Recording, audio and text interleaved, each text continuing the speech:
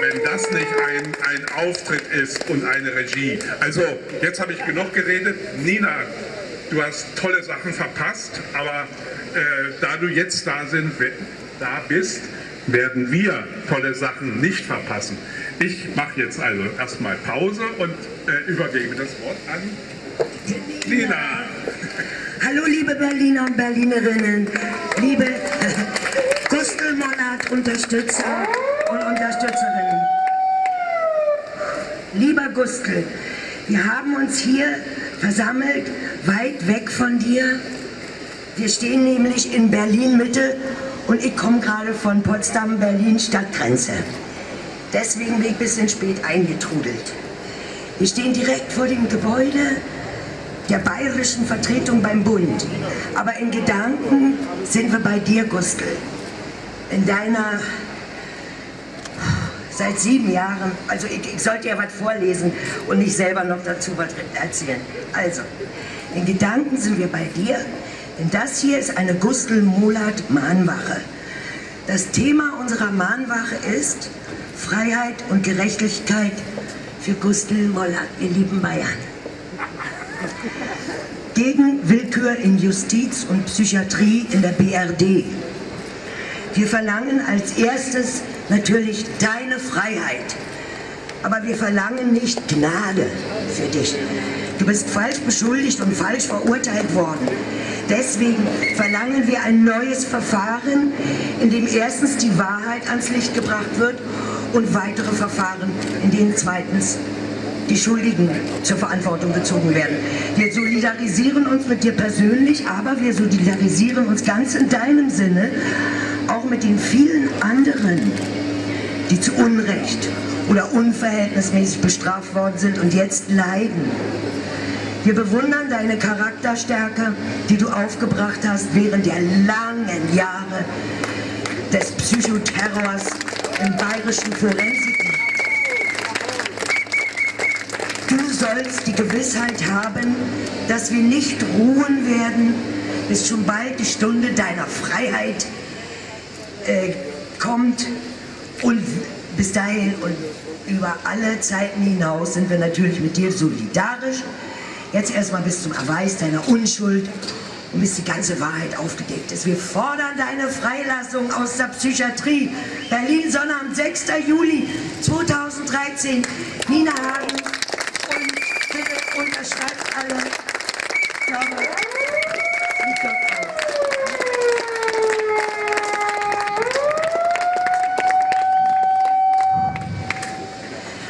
Zu Zeiten des Hitlerfaschismus haben meine Eltern, waren meine Eltern schon auf der Welt.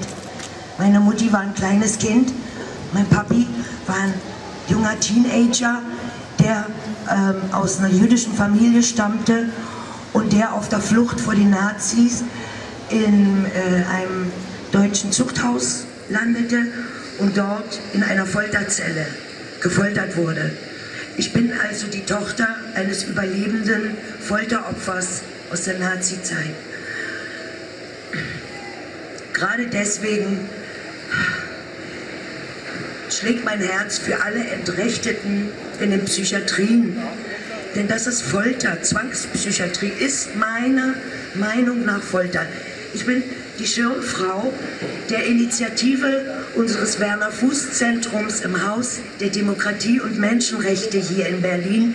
Schirmfrau einer Patientenverfügung, die www.patverfü.de Bitte, liebe Freunde in aller Welt, bei uns in Deutschland, macht euch schlau. Viele Menschenrechtsorganisationen äh, und andere Organisationen stehen hinter dem Pad-Verfü. Das soll äh, in der ganzen Bundesrepublik ein einheitliches äh, Verfügungszeugnis für uns Bürger und Bürgerinnen dieses wunderschönen Landes Deutschland sein, das auch Gültigkeit hat bei den Gerichten und äh, bei den psychiatrischen Forensiken, dass wir ähm, von vornherein ausschließen, äh, zwangspsychiatrisiert äh, werden zu können oder zu wollen oder zu dürfen. Bitte macht euch schlau bei der www.patverfühl.de und jetzt greifen wir zur Gitarre, denn äh, liebe Menschen, lasst euch ruhig nieder, da wo sie singen, schöne Lieder, denn ich habe mal sagen lassen, böse Menschen, die kennen gar keine Lieder. Na?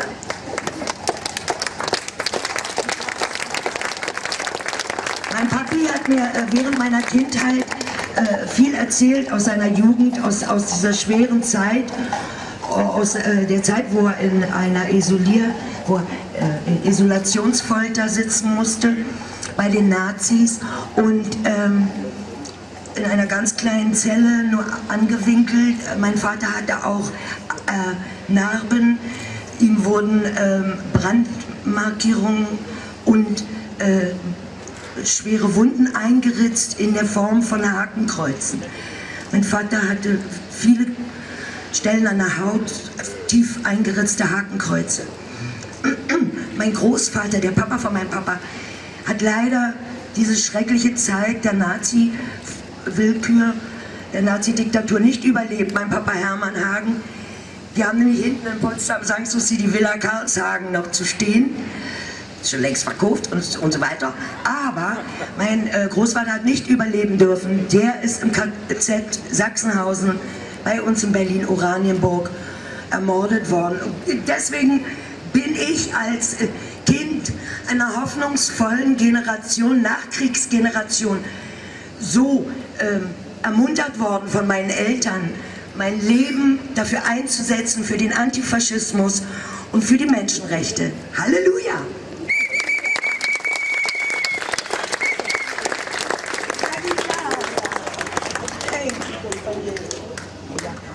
Ich habe heute auch die schönen bayerischen Farben angezogen.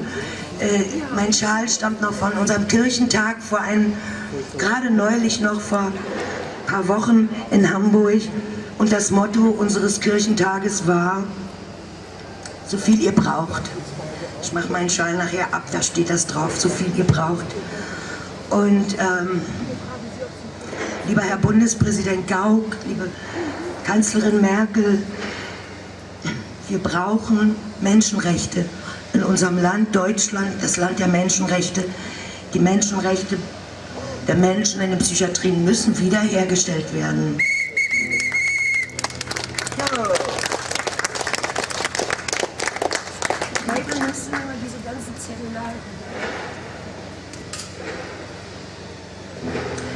Hier kommt eine Botschaft an alle Faschisten.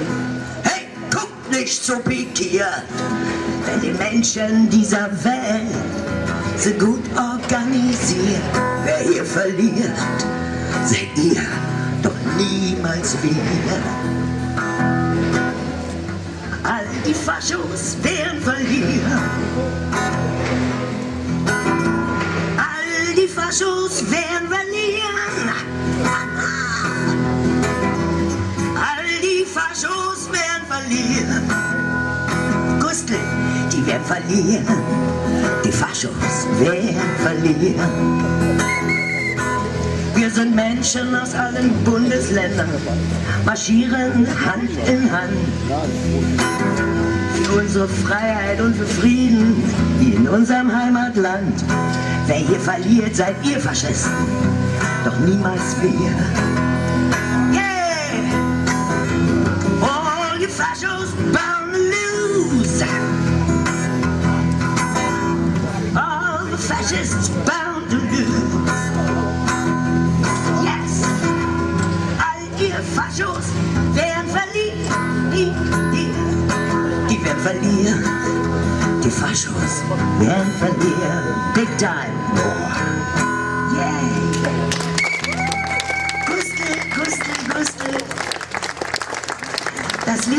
Kelch von Bertolt Brecht aus dem Stück Schweig im Zweiten Weltkrieg. Schweig war nämlich ein äh, erster Weltkriegsveteran in dem Stück von Bertolt Brecht. Da, soll, da, will sein bester Freund sich beim Militär melden und in den Weltkrieg ziehen, aber der Schwäg will das nicht. Versucht alles Menschenmögliche. Kommt zu uns ins Berliner Ensemble, wir machen da jetzt eine Reihe von Brechtabenden. Und das Lied vom Kelch, Gustl, das Lied vom Kelch. Komm und setz dich, lieber Gast, setz dich uns zu Tische dass du Suppe und Krautfleisch hast oder Moldau Felsche. Brauchst ein bisschen was im Topf, musst ein Dach haben überm Kopf. Das bist du als Mensch uns wert, sei geduldet und geehrt für nur 80 Heller.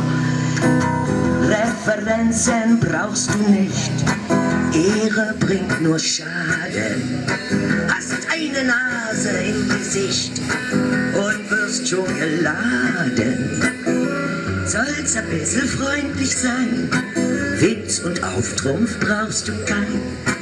Isst dein Käse und trink dein Bier und du bist willkommen hier für nur 80 Euro. Schauen wir früh hinaus, ob's gut Wetter werde. Und da wurde ein gastlich Haus aus der Menschenerde. Kein, jeder wird als Mensch gesehen, keinen wird man übergehen. Haben ein Dach gegen Schnee und Wind, weil wir arg verfroren sind. Auch mit 80 Heller, das Lied vom Geld.